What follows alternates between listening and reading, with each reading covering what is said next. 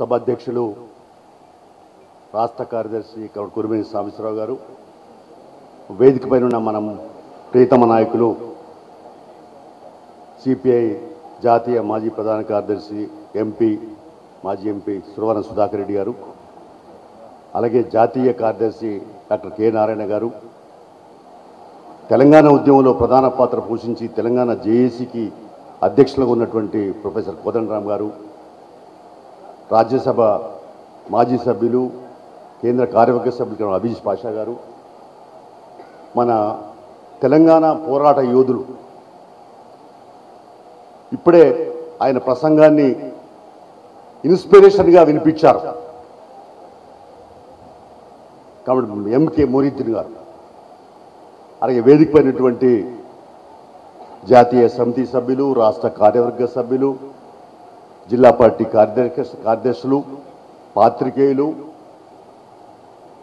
హైదరాబాద్ రంగారెడ్డి మేడ్చల్ నుంచి విచ్చేసినటువంటి ప్రజలు కామ్రేడ్స్ అలాగే అనేక మారుమూల తెలంగాణ వ్యాప్తంగా కూడా తప్పనిసరిగా ఈ తెలంగాణ సాయుధ పోరాట ముగింపు ఉత్సవాల్లో పాల్గొనాలని అనేక కష్టనష్టాలకు వచ్చి విచ్చేసినటువంటి మీ అందరికీ పేరు పేరున నా హృదయపూర్వకంగా నమస్కారాలు అభినందనలు తెలియపరుస్తా ఉన్నాను.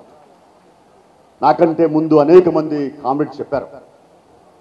మన చరిత్ర ఒడువని చరిత్ర. మన కష్టాలు కడగళ్ళు తీరని మన బాధలు అవి ఇంకా ఎప్పుడు తిరుగుతాయి అనేటువంటి పరిస్థితి. ఇవాళ తెలంగాణ వ్యాపితంగా అన్ని ప్రాంతాల్లో కూడా సెప్టెంబర్ పదిహేడు పంతొమ్మిది నలభై ఎనిమిదిన విలీన దినమని వారం రోజుల పాటు మరి వార్ష వారోత్సవాన్ని జరుపుకునే వాళ్ళం. ఈసారి ప్రత్యేకంగా మనం స్థూపాల దగ్గర సభలు సమావేశాలు జరుపుకున్నాం. అంతేకాదు మనం అనేక సంవత్సరాలుగా కేంద్ర రాష్ట్ర ప్రభుత్వాలను ఒత్తిడి చేస్తా ఉన్నాం. అయ్యా సెప్టెంబర్ పదిహేడును విలీన దినంగా జరపమని కోరుతున్నాం. అయినా ఇప్పటికీ కదలలే. కానీ ఇవాళ మనం ఒకసారి గమనిస్తే కొంతమంది యువకులకు తెలియదు. తెలంగాణ సంస్థానం అంటే కేవలం తెలంగాణ రాష్ట్రమే కాదు. అప్పుడు ఎనిమిది జిల్లాలు ఇవి. అంటే పది అయినాయి తర్వాత ముప్పై మూడు అయినాయి కానీ మహారాష్ట్రలో ఐదు జిల్లాలు కర్ణాటకలో మూడు జిల్లాలు పదహారు జిల్లాల పరిగణ అందులో నిజాం నవాబు ఆధీనంలో ఎంకే మొహిద్దీన్ గారు చెప్పినట్టుగా ఫ్యూడల్ వ్యవస్థ ఆ వేలునుకున్నటువంటి వ్యవస్థ.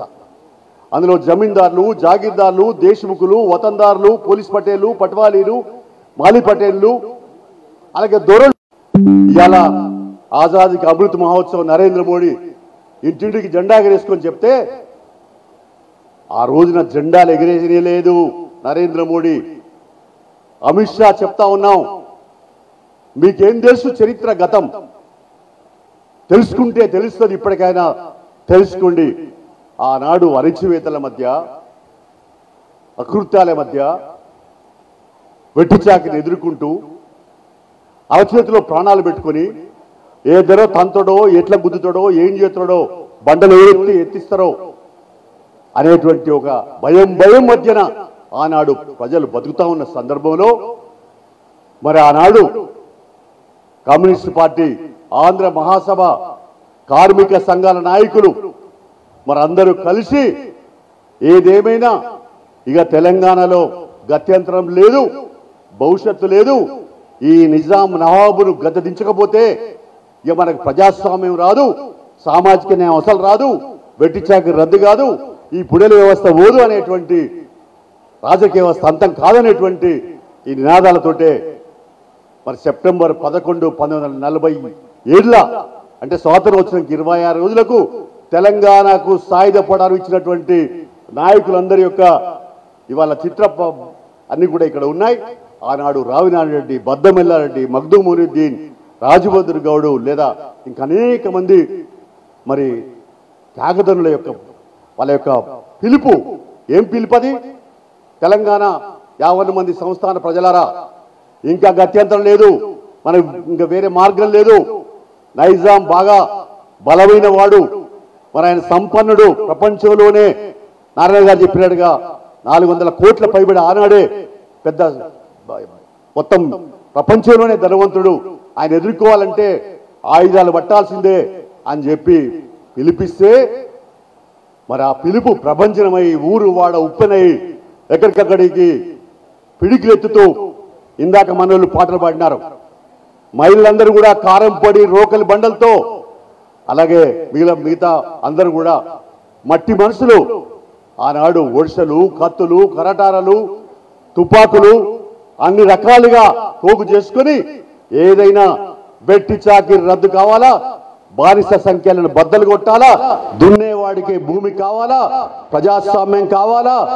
మరి ఇవాళ భారతదేశం విలీనం చేయాలనే నినాదంతో మారు మోగింది తెలంగాణ అంతా కూడా. రక్తక్షిప్తమైంది తెలంగాణ అంతా కూడా. ఎక్కడ చూసినా మరి వీరోచిత పోరాట గాథలు కోకల్లుగా ఉన్నాయి. ఆ పోరాటాల స్ఫూర్తితోటే మరి వాళ్ళ గర్వంగా చెప్పదలుచుకుంటే ఆ పోరాట సంవత్సరం లోపే మూడు వేల గ్రామాలను గ్రామ రాజ్యాలుగా ప్రకటించిన ఘనత ఆనాడు భారత కమ్యూనిస్ట్ పార్టీ అని చెప్పేసి కూడా ఈ సందర్భంగా నేను ప్రధానంగా తెలియపరుస్తా ఉన్నాను. అంతేకాదు మరి అలా దొరలోకి ఇక మీ మీకు సలాం చెయ్యం అని చెప్పి ఎదిరించి చెప్పినటువంటి పరిస్థితి. అలాగే దున్నేవాడికి భూమని వేలాది ఎకరాల భూమి. నేను ఒకటే మాట ఛాలెంజ్ చేయదలుచుకున్నాను. భూమి సమస్య తీసుకున్నది ఎవరయ్యా ఉన్నారంటే ప్రపంచంలో కావచ్చు ఇక్కడ కావచ్చు ఎక్కడ కావచ్చు దున్నేవాడికి భూమి అని పంతొమ్మిది నలభై ఆరులో నినాదం అది. ఆ నినాదం అప్పటికి ఇప్పటికి ఎప్పటికీ ఇంకా పేదోళ్ళకు భూమి దక్కదాకా ఆ నినాదం సజీవంగా ఉంటుందని చెప్పేసి కూడా ఈ సందర్భంగా నేను తెలియపరుస్తా ఉన్నాను. అందుకనే భూమి సమస్య భుక్తి సమస్య దాశుకుల సమస్య కొరకే తెలంగాణ సాయుధ పోరాటం సాగింది. అయితే ఈ పోరాటం దీన్ని వక్రీకరించే పద్ధతిలో అనేక మంది ప్రయత్నం చేస్తా ఉన్నారు. నేను ఎక్కువగా సమయం తీసుకోలేదు తీసుకోను. కానీ ఇలా బీజేపీకి సంబంధించి చూస్తే వాళ్ళకి ఏమి సంబంధం? వాళ్ళు ఒక మతోన్మాద పార్టీ. అది ఆర్ఎస్ఎస్ చెప్పు చేతుల్లో నడిచే పార్టీ ఇప్పటికీ అప్పటికి. ఆ తర్వాత ఆర్ఎస్ఎస్ కూడా పంతొమ్మిది ఇరవై ఐదులో స్థాపించబడ్డా? స్వాతంత్ర పోరాటం దాని పాత్ర ఉందా? తెలంగాణలో దానికి ఏం సంబంధం ఉంది? అందుకనే ఇవాళ ఏదైనా వాళ్ళకు ఏంటంటే అధికారం. ఎట్లన్నా చేసి ఈ దక్షిణ భారతదేశంలో మేము బాగా ఇయ్యాలా? అందుకనే ఆ రకమైనటువంటి ప్రయత్నాల్లో చేస్తా ఉన్నారు. అందుకనే మనం ఇవాళ ఛాలెంజ్ చేయాలా? ఒక మతోన్మాద ఫాసిస్టు రైతు వ్యతిరేక కార్మిక వ్యతిరేక ప్రజల వ్యతిరేక ప్రభుత్వ రంగ సంస్థ ధ్వంసం చేస్తున్నటువంటి అలాగే మరి ధరలు బాగా పెంచేసి పెనుభారం మోపుతున్నటువంటి బీజేపీ ఆటలు తెలంగాణలో సాగవు. అందుకనే ఎక్కడికక్కడికి బీజేపీ దురాఘాతాలు ఎండగట్టేందుకు ప్రతి ఒక్క కమ్యూనిస్టు పార్టీ కార్యకర్త కంకణబద్దులు కావాల్సిన అవసరం ఉందని చెప్పేసి కూడా ఈ సందర్భంగా నేను తెలియపరుస్తా ఉన్నాను. అలాగే రానున్న కాలంలో మనమంతా కూడా ఆలోచన చేయాలా? ఇలా మరి తెలంగాణ ఎవరైతే పోరాట యోధులు ఉన్నారో వాళ్ళ పెన్షన్లు ఎందుకు రిజెక్ట్ చేస్తా ఉంది బీజేపీ ప్రభుత్వం? అంత సిద్ధశుద్ధి ఉంటే ఆనాడు త్యాగాలు చేసిన వాళ్ళ మీరు పెన్షన్లు ఇవ్వరా? అంతేకాదు ఇక్కడ మనం అడుగుతా ఉన్నాం ప్రత్యేక తెలంగాణ ఉద్యమంలో కూడా కేసీఆర్ అనేక మాటలు చెప్పాడు. అసలు రావినాడు బద్దనాడు మగ్దుకుపోయేది కనుక వాళ్ళు ఆనాడు పిలిపియకపోతే ఈ హైదరాబాద్ ఆజాద్ ఇది మరో పాకిస్తాన్ లాగా ఉండేదని కేసీఆర్ నోటించిన మాటలు ఇలా మన మీడియాలో ఉన్నాయి. అందుకనే ఇప్పుడు కేసీఆర్ నేను అడుగుతా ఉన్నాను మీరు ఇప్పటికైనా ఈ సంవత్సరం పోయిన సంవత్సరం మీరు అఫీషియల్గా చేస్తామని చెప్పి ఇన్ని ఎనిమిది సంవత్సరాలుగా చేయలేదు. మీ పార్టీ కార్యాలయం జెండా ఎత్తుకున్నారు తప్ప మరి ప్రభుత్వ పరంగా చేయలేదు. కానీ మన తెలంగాణ నుంచి ఆ రోజున ఆంధ్ర మరి భాషా ప్రతి రాష్ట్రాలు విడిపోయినటువంటి మహారాష్ట్ర ఐదు జిల్లాల్లో కర్ణాటక మూడు జిల్లాలో అధికార పూర్వకంగా ప్రభుత్వ లాంఛనాలు జరుగుతున్నాయి. ఇక్కడ మాత్రం జరగలేదు. ఇది ఒక పక్షపాతం జరిగింది. ఒక నిర్- నిర్లక్ష్యం జరిగిందని చెప్పేసి కూడా ఇప్పుడు మేము ఈ సందర్భంగా అప్పుడు ఆ కాంగ్రెస్ ప్రభుత్వం కానీ ఇప్పుడు కానీ జరిగిందని చెప్పేసి మన పార్టీ అనేక సందర్భాల్లో చెప్తూ వచ్చింది. ఇవాళ నేను కేసీఆర్ కోరేది ఒకటే. నిన్న నేను వీర బైరాడిపల్లికి పోయొచ్చాను రాత్రి పూట అక్కడ ఫ్రీడమ్ పట్టేలు అందరూ చెప్తా ఉన్నారు. అయ్యా ఈ బురుజు సాక్షి ఇప్పటికీ ఆ తుపాకి గుళ్ళు కనపడతా ఉన్నాయి. అందుకనే మీరు ఇవాళ మీరే న్యాయం చెయ్యాలా? ఆనాడు నిజంగా తెలంగాణ కొరకు కొట్లాడింది పోరాడింది. ఆ రోజు నైజాం రాజకీయ వ్యవస్థను అంతం చేసింది రజాకారులతో లేదా పోలీ నైజాం పోలీసులతో కొట్లాడింది పోట్లాడింది. మరి కమ్యూనిస్ట్ పార్టీ కాబట్టి అందులో వీ వీర బైరాణిపల్లి పైన ఒకసారి కాదు అటాక్ చేసి రెండు సార్లు అటాక్ చేసి దారుణంగా వంద పద్దెనిమిది మంది కూటిపెల్లి బైరాణిపల్లి ఆ ప్రాంతంలో పొట్టను పెట్టుకున్నటువంటి పరిస్థితి ఉంది కాబట్టి తప్పనిసరిగా మాకు ఒక పర్యాటక కేంద్రంగా కావాలని చెప్పి ఇలాంటి అనేకమైనటువంటి విషయాలు ప్రస్తావన చేశారు. ఏదైనా నేను ఈ సందర్భంగా చెప్పేదంటే రాష్ట్ర ప్రభుత్వం కేంద్ర ప్రభుత్వం వదిలిపెట్టండి. రాష్ట్ర ప్రభుత్వం ఇప్పటికైనా బైరానిపల్లి లాంటి మల్లారెడ్డిగూడెం లాంటి గుండ్రాంపల్లి లాంటి లేదా బొల్లెపల్లి లాంటి లేదా మాందపురం లాంటి ఇంకా అనేక చోట్ల ఎన్కౌంటర్లు ఎక్కడైతే అయినాయో ఎన్కౌంటర్లు ఉన్న ప్రతి చోట కూడా పర్యాటక కేంద్రంగా పెట్టి ఆనాటి తెలంగాణ సాయుధ పోరాట స్మృతులను ఈనాటి తరానికి తెలియపరిచేటువంటి బాధ్యత కేసీఆర్ పైన టిఆర్ఎస్ ప్రభుత్వం పైన ఉందని చెప్పేసి కూడా ఈ సందర్భంగా విజ్ఞప్తి చేస్తూ మనమంతా కూడా రానున్న కాలములో మరి ఈ పార్టీ మరి భవిష్యత్తుకు ఎంక మురిద్దరు గారు మాట చెప్పాడు.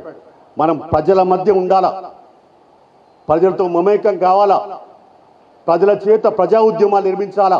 అందుకనే పల్లె పల్లెకు సిపిఐ నేను దాదాపుగా అనేక సాయుధ పోరాట వారోత్సవాల సందర్భంగా తిరిగాను. అన్ని అన్ని అన్ని జిల్లా తిరిగాడు నాకు అర్థమైంది ఏంటంటే ప్రతి ఊరిలో మన పార్టీ అవశేషాలు ఉన్నాయి. అందుకని మనం పోతే తప్పనిసరిగా మన పార్టీ విస్తరణ అవుతుంది. నాకైతే సంపూర్ణమైన నమ్మకం ఉన్నది. అందుకనే ఇవాళ యువతరం పార్టీ నాయకత్వంలోకి వచ్చింది. కాబట్టి అందరూ కూడా చిత్తశుద్ధితో ఒక పట్టుదలతో కార్యదీక్షతో కార్యోన్ముఖులు కావాలా?